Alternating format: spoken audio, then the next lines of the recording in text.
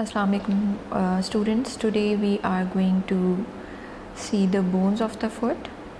And this is this is the uh, foot whole foot. And as we all know that it is composed of the tarsus bone and then the metatarsal bones and phalanges. So we will start with the tarsus bone. We know that there are seven tarsus bone right um, that is the they are arranged in two rows the proximal row and the distal row. The proximal row has got the uh, on it above it has this bone which is known as talus and below it has the calcaneum. So they both form the proximal row. And in the distal row uh, there are three uh, bones. These are known as because they are wedge shaped so they are known as cuneiform. And uh, then on the lateral side cube like bone which is known as cuboid. So uh, the distal row is formed by the cuneiform and cuboid. Now in between them uh, that means the two rows the proximal row and the distal row there is another bone is interposed which is known as the navicular.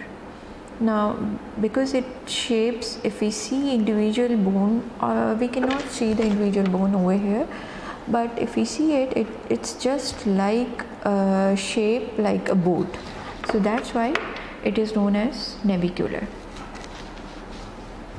Now, coming to the uh, features, bony features of the individual bones, we will start with the this bone which is present above on the proximal row and is known as talus.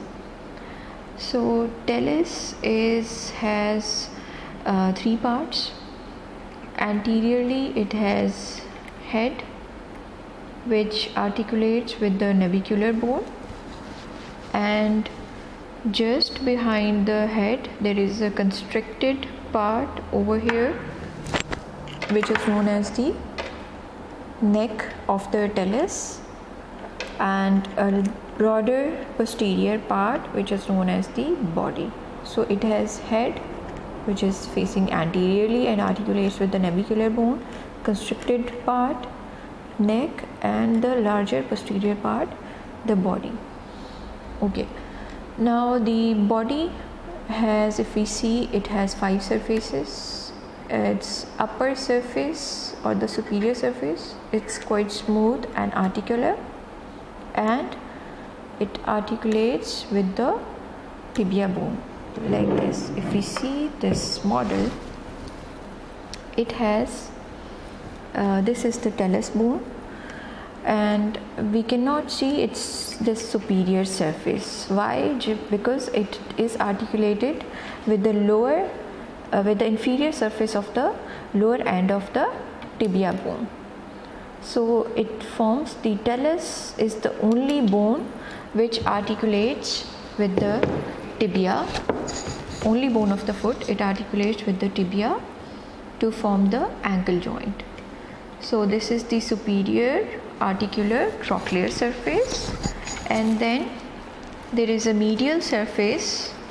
This hole is the medial surface of the talus if we see it's it is articular in its upper part. And like here. And non-articular in its lower part so this articular part is small comma shape surface. It articulates with what? This articulates with the the medial malleolus of the tibia like this. If we see this model here we can see that this is the medial malleolus of the tibia and it articulates with the comma shape articular surface of the talus on its medial aspect to form the joint. And the lateral aspect now coming to the lateral aspect of the of the talus bone if we see its articular triangular shape and again this is articular concave. This lateral surface it articulates with what? The fibular bone.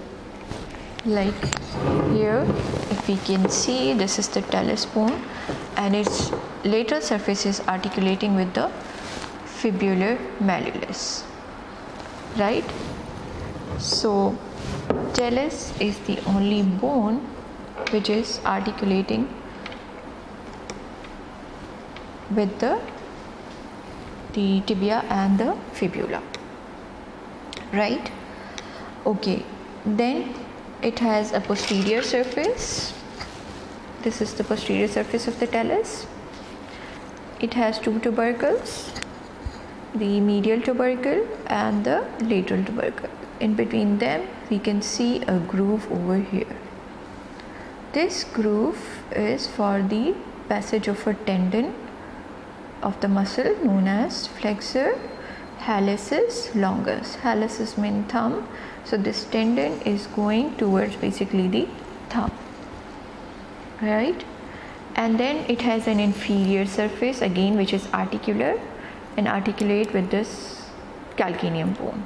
So we cannot see the inferior surface because it is joined.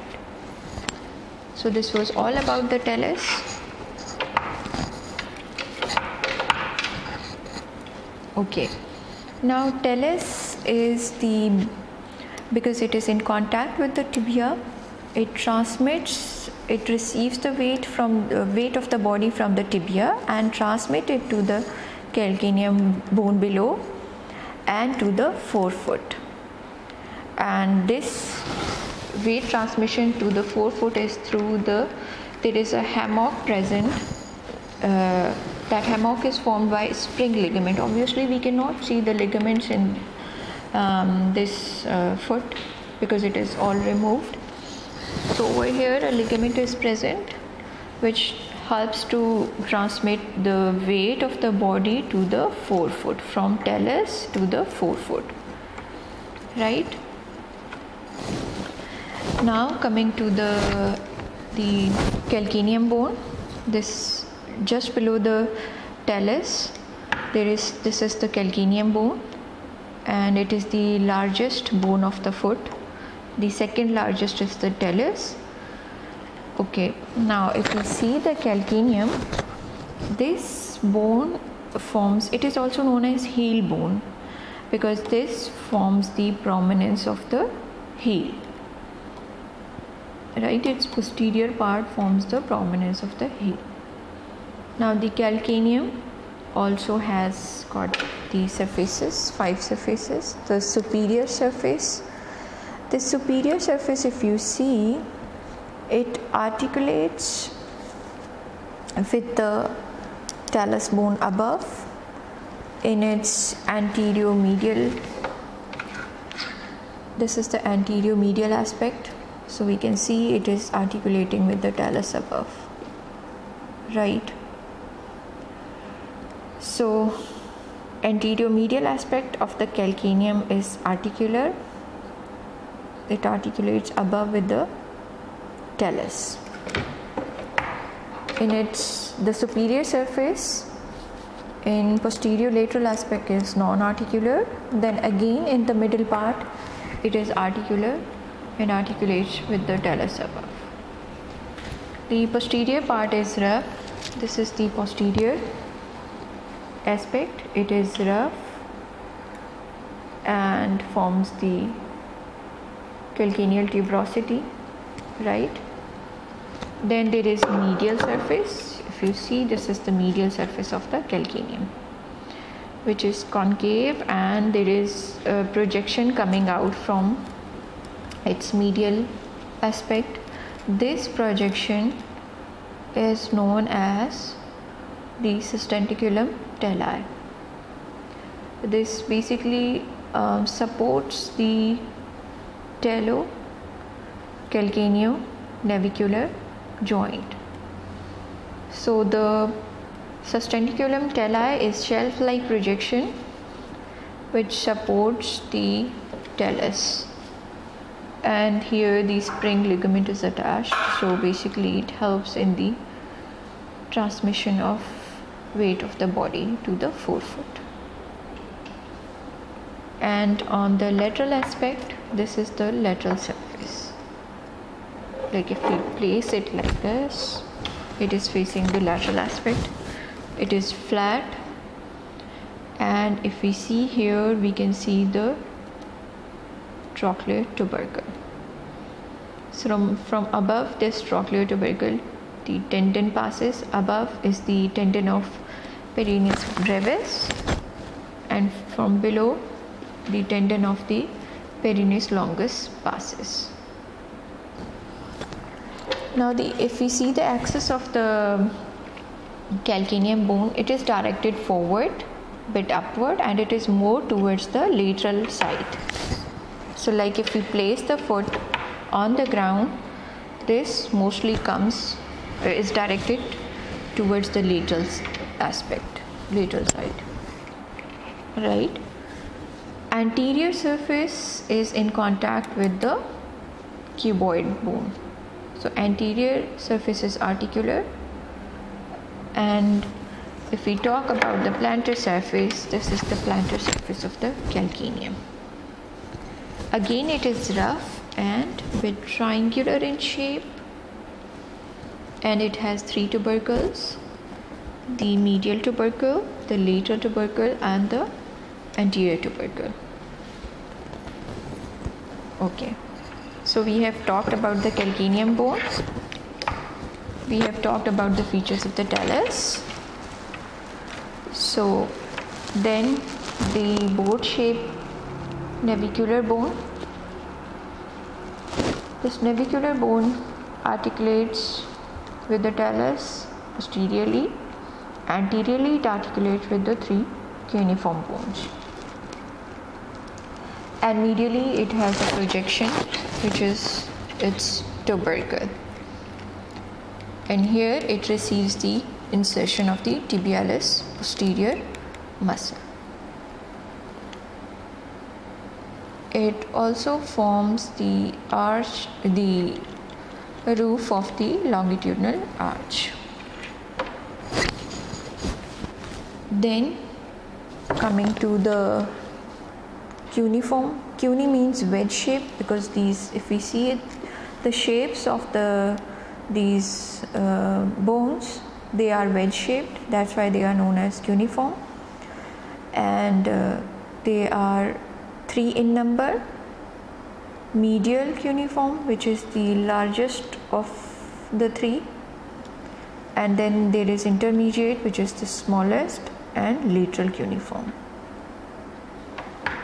Then this is cube-like bone which is present between the calcaneum posteriorly and the metatarsal fourth and fifth metatarsal anteriorly. Cuboid bone. If we see the plantar aspect of the cuboid bone it is grooved in its anterior aspect and this groove is for the tendon of the flexor the uh, peroneus longus muscle. So this was all about the tarsal tarsus bones, right? And then coming to the metatarsal bone. So the tarsal bones are seven in number Metatarsal bones they are 5 in number and they will be counted from medial to lateral. So this is the first metatarsal, the second, the third, the fourth and the fifth one. It is we know that these are the miniature long bones. So they have the upper end which is the distal end or the head, the shaft and the lower end or the base or the proximal end. The first metatarsal bone, it is the shortest and thickest bone of, of uh, uh, the all metatarsal bones. Then the second one is the longest if we see and compared with other it is the longest bone right and then the fifth one if we see it is projecting on towards the uh, this cuboid bone it's if we see its lateral aspect it is projecting posteriorly.